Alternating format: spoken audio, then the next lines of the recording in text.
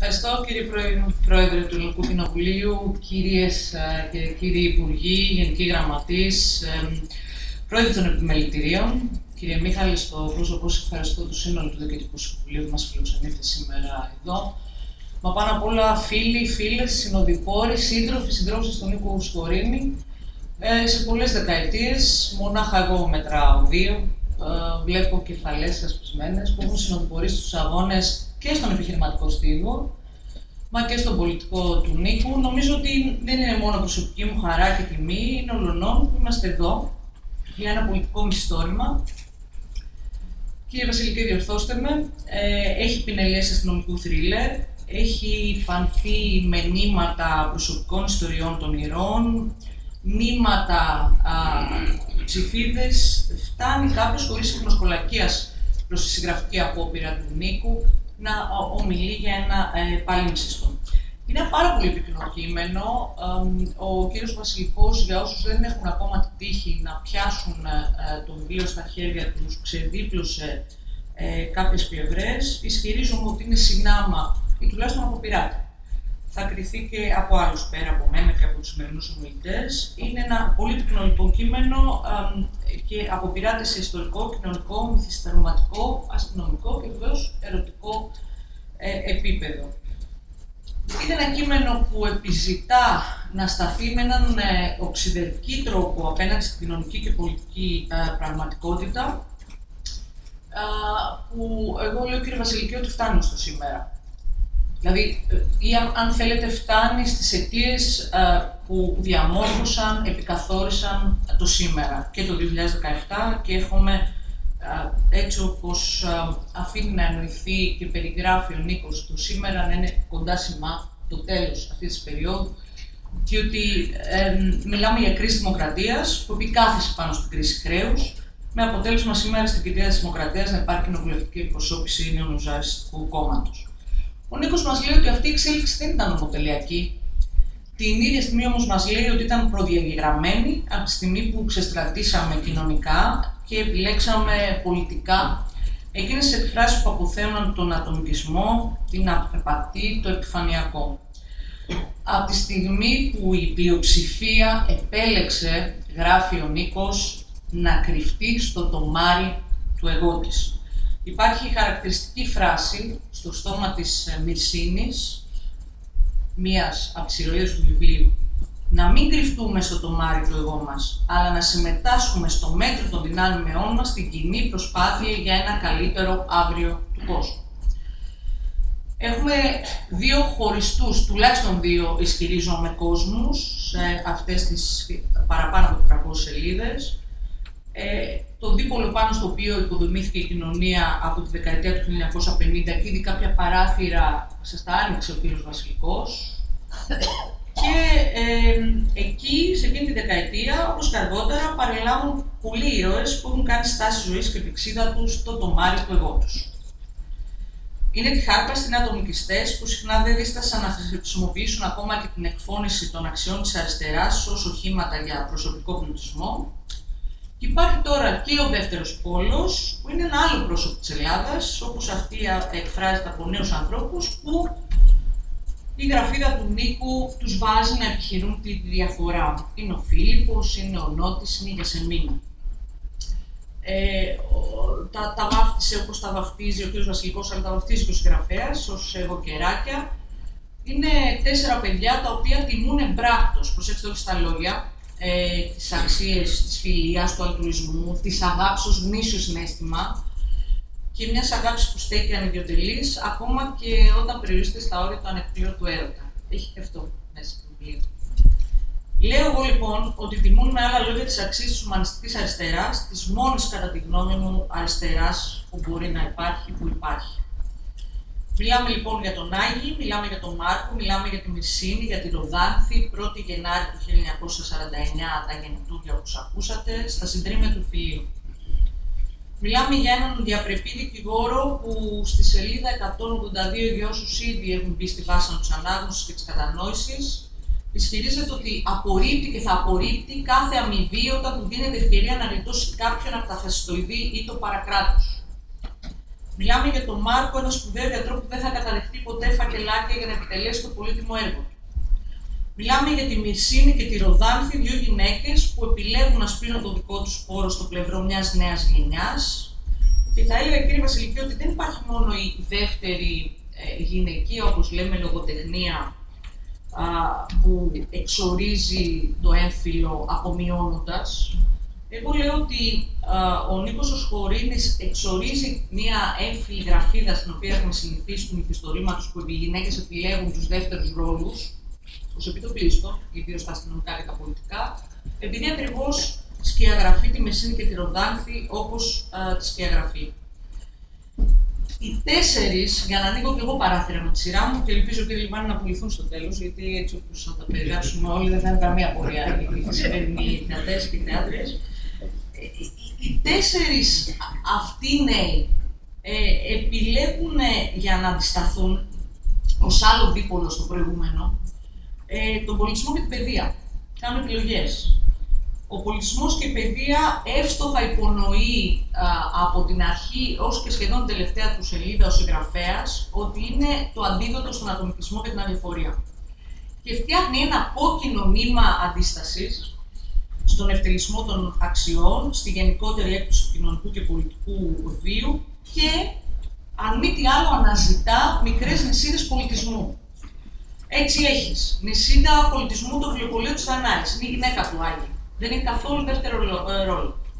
Εκεί γίνεται μια προσπάθεια το βιβλιοπωλείο να είναι κέντρο προαγωγής της γνώσης και του γόνιμου διαλόγου μέσα από δηλώσεις, μέσα από παρουσιάσεις ε, βιβλίων, όπου πάλι επιλέγει ο συγγραφέας, άρα, άρα αξιολογεί, άρα προτείνει ε, τους νέους. Στο επίκεντρο είναι η συμμετοχή των νέων.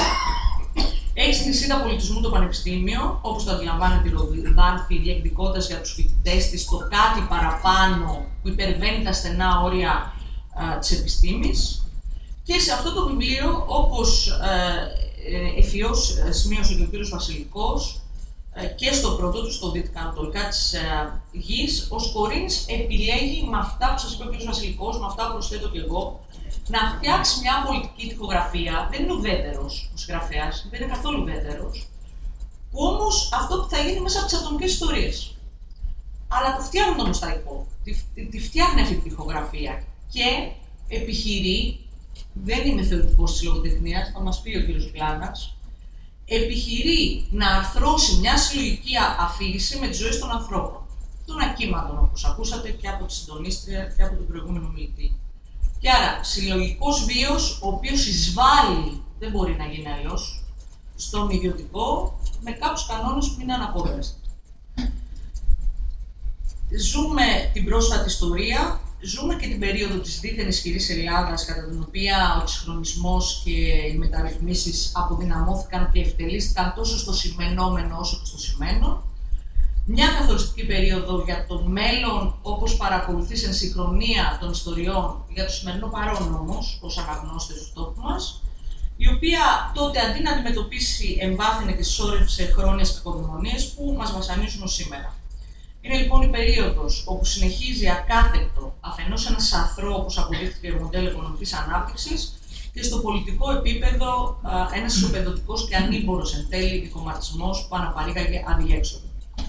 Ακούσατε και τον α, πρόεδρο του ΕΒΑ να μιλάει για τη δίνη μιας ψευτοανάπτυξης. Ακούσατε τον κύριο Βασιλικό να σταχυολογεί περιόδου όπως οι Ολυμπιακοί Αγώνες, τα διακοποδάνεια, το πλαστικό χρήμα, ο ήλικο του προγραμματιστηρίου και μετά βεβαίω γνωρίζουμε πάρα, πάρα πολύ καλά, έχει το βυθός. Και εμείς, ο συγγραφέας, ισχυρίζομαι ότι τουλάχιστον εδώ χωρίς σύγχρονο κολακία κουνιόμαστε, και εμείς όμως ακίματοι, κυρίες και κύριοι, ασάλευτοι σε ταραγμένους καιρού, με το εγώ μας να προπορεύεται, να υπονομεύει το εμείς. Διαβάζω. Οι κανονικοί γεύονται ευχαριστημένοι την κανονικότητά τους, πίνοντας καφέδες και χυμούς, ακίμαντη, υπεράνω όλων των δυστυχισμένων και των κανονικών, υπερασπιστής πάντως των αχράντων το Πανάγιο κράτος. Ακίμαντο και αυτό, σελίδα 265. Περιγράφει τη χρεοκοπία του οικονομικού συστήματος, αλλά δεν μένει εκεί, θα ήταν εύκολο για αυτόν και ίσως θα ήταν πολύ λυψή η πολιτική του τυπογραφία, επιχειρεί το αξιακό σύστημα και λέει ότι και αυτό έχει θέμα. Και μας μιλάει για την καρικατούρα μιας Ελλάδας που είναι κολλημένη στο χθες με έναν αδιέξοδο τρόπο, που πολλές φορές επαναλαμβάνει κλισέ, χωρίς που να μπορεί να τα υπερβεί. Και νομίζω είναι πολύ οικία σε όλου μας η περιγραφή της παρέστησης Αριανή, εκείνο το φιλοπερκμένο έργο που έχουμε συμμετάσχει με τον ένα με τον άλλο τρόπο αρκετές φορές όλοι μας. Έχει ατέρμονε αψημαχίες φίλων, ο Δημήτρης, ο Βασίλης, ο Λάμπρος, έχει αερολογίες και τσιτάτα, τα οποία καταλήγουν στο τίποτα, λειτουργούν μόνο ως ευκαιρία για επανένωση και άγριο φαγοπότη. Ξαναδιαβάζω. Μην ξαναπιάσεις το πασόκ στο στόμα σου, έστω και αυτό που το καταδείξαν τα λαμόγια του. Ήρθε και η δικιά σου η ακρίδα, η Νέα Δημοκρατία, και είδαμε τα καταστώματά της. Πέρασε και αποψήλωσε τον τόπο. Σελίδα 37, ο Βασίλης τον Δημήτρη, για να πάμε μονάχα 40 σελίδες πιο μετά, στην 77, να βρει άλλο βράδυ ο Λάμπρος ευκαιρία να ανταλλάξει φρενοφρόνηση για να του πει από αναρχικό στα νιάτα σου κατάρτισε δεξιό καθήκη. Όχι φίλε, και γέρος αν θέλεις μπορείς να είσαι μάχημος. Για όλους υπάρχει μια θέση στον αγώνα, όπως και στον καναπέ φυσικά. Μόλις λάδω το αντεράκι σου, ξέχασε τα νιάτα και τους αγώνες σου και κόλλησες σαν βέλα στη Νέα Δημοκρατία για ένα ρουσφετάκι. Μην διαμαρτύρεσαι για τη μίζερη ζωή σου. Και εισπράττει βεβαίως μια ομολογουμένω εξίσου ενδιαφέρουσα απάντηση που ε, λέει κύριε Μίχαλ, το πρόβλημα είναι το κράτος. Είχαμε και ιδιωτικό τομέα που βοήθησε πάρα πολύ. Για πολλωστή φορά μονάζει, κολακεύοντα τη γονατία της μοναξιάς σου. Ε, όχι μικροεγολάβε. Ο δημόσιος υπάλληλος και ο γενικός διευθυντής, ο διεφθαρμένος θέλει και τον εργολάβο τον διεφθαρμένο, κύριε Μιχάλη. Ήρθε η ώρα της δικής σου δικαστικής καταδίκης. Να είχα χρόνο να φέρω τους αγοραστές των διαμερισμάτων σου να σου τα πούν κατάμετρα. Εκεί να δεις, λέει για μάνα μου, κακοτεχνίες, ελλείψεις, υπερτιμημένα. Με δάνεια από δικούς σου τραπεζίτες και με τα χρήματα των μικροκαταθετών σου, σαν και εμένα, μας το παίζει και ιδεολόγο από πάνω. Σε ποιο τόπο κάνεις εσύ τις δικές σου επαναστάσεις; Και δεν το έχουμε πάρει χαμπάρι εμείς οι υπόλοιποι ταπεινοί. Αν εξέχασα, ακούς κάθε βράδυ επαναστατικά τραγούδια. Θοδωράκι Λοίζο Μαρκόπουλο πάνω τζαβέλα, σελίδα 78. Κυρίες και κύριοι, κυρίες και κύριοι, σας είναι πάρα πολύ και αυτά τα ακούσματα. Και εγώ λέω ότι ο συγγραφέας ο Νίκος, ο πολιτικός ο Νίκος, ο συνδικαλιστής ο Νίκος, ο Νίκος που αγχωνόταν για το μεροκάματο, επιβεβαιώνει τη διαπίστωση ότι τα δομικά αδιέξοδα δεν δημιουργήθηκαν έθνη μόλις πριν από 7 χρόνια. Εποάζονταν και προπήρχαν και μετά τη μεταπολίτευση οι συγκεκριμένες πολιτικές επιλογές προδιέγραψαν την πορεία του τριπλού διεξόδου, του πολιτικού, του οικονομικού και του κοινωνικού. Κυρίες και κύριοι, φίλες και φίλοι, στην πατρίδα μας επί δεκαετίες το πάνω χέρι δεν το είχε ούτε η συλλογικότητα όπως τη βλέπουμε στα εγωκεράκια, ούτε η αλληλεγγύη, ούτε η επιλογή για ανάπτυξη σε στέρεες υγιείς βάσεις, διασφαλίζοντας ένα σοβαρό κράτος δικαίου και ένα σοβαρό κράτος κοινωνικής πρόνοιας. Το πάνω χέρι το είχε αντιγράφω μια ανάπτυξη με πύληνα πόδια, μια ανάπτυξη χωρίς μέλλον όπως αποδείχθηκε. Και είναι και μια ανάπτυξη η οποία την ίδια στιγμή δεν λειτουργήσε αντιπαραγωγικά με όρους δικτών, δημοσιονομικών ή άλλων, αλλά και ισοπεδώντας συνειδήσεις, αξίες και ανθρώπους. Αυτό είναι η δική μας επιλογή.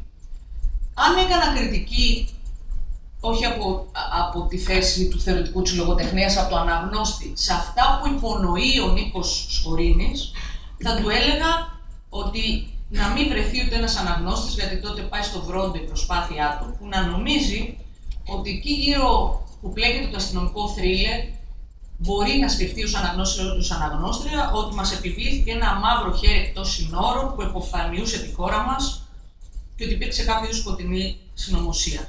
Εγώ με κυρίες και κύριοι, χωρίς να επιμερίζω τις ευθύνες σε όλους, άλλο ένας υπουργός του 1950, άλλο ένας επιχειρηματίας του 1999, αλλά εγώ ισχυρίζομαι ότι εν μέρει συνομωτήσαμε κατά του εαυτού μας, υπονομεύσαμε το μέλλον των παιδιών μας, έχουμε ευθύνη και είμαστε κύριοι αυτού του έργου και εμείς πολλές φορές δημιουργούμε τις προποθέσει της τύχης ή της ατυχίας μας. Υπό το πρίσμα λοιπόν αυτό, Εστιάζοντα δηλαδή πρώτα του οίκου μας, νομίζω ότι πρέπει να αναλύσουμε με την ευχάριστη συγγραφή α, γεμάτη μηνύματα του Νίκου α, και την κρίση, τη συνέπειες τη οποία βιώνουμε και σήμερα. Και το μόνο όχημα για να δημιουργούμε είναι να μην περιμένουμε κάποιον από μηχανής Θεό. Ο απομηχανής Θεός έρχεται συχνά και στο πρώτο και στο δεύτερο α, α, βιβλίο του Νίκου ε, και εγώ λέω και το στυλιτές. Μην πεις ότι τον αφήνεις να μας σώσει. Άρα, αναλαμβάνουμε εμείς την ευθύνη για την υπέρβαση, με όρους όμως. Είπαμε, ε, παίρνει θέση, δεν είναι ουδέτερος, με όρους λοιπόν κοινωνικής δικαιοσύνης, συνοχής και αλληλεγγύης.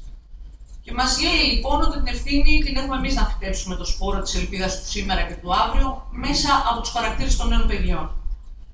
Εγώ λέω ότι είναι ένας σπόρο που έπρεπε να είχαμε φυτέψει καιρό τώρα, αλλά όπως λέει και ένα κινέζικο ρητό, η καλύτερη στιγμή να φυτέψει ένα δέντρο είναι 20 χρόνια πριν. Η δεύτερη καλύτερη είναι μόλις τώρα.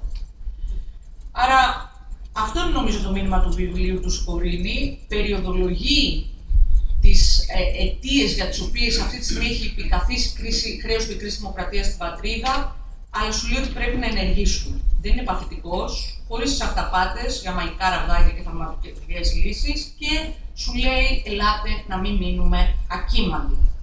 Εμπλέκει τη δημόσια σφαίρα μέσα από την αριστοτελική ε, εμπάθεια με την ενσυναίσθησης, μην παρεξηγηθούμε, και για την πολιτική, όπως φαίνεται από τις σελίδες του Σκορίνη, ή θα γίνει συλλογική υπόθεση των πολιτών για την κοινωνία, ή θα τελεί υπό τη διαρκή ομοιρία του ατομικού εκείνο ακριβώς που οδήγησε στα διέξοδα που περιγράφει το βιβλίο και που ελπίζω να μην γεμίσει πολύ την πλατεία σήμερα το βράδυ. Άρα μας λέει ότι πρέπει να είμαστε προσεκτικοί σε εκείνο που αναιρεί το ίδιο το νόημα της πολιτικής πράξης.